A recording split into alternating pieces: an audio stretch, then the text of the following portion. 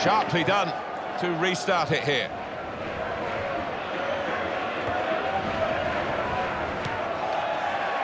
It's one back.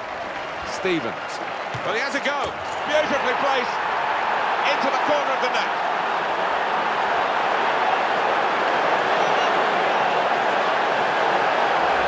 And he won't hit any better than that today. Real frosty with that one into the bottom right. Well, I want to see this again, this goal.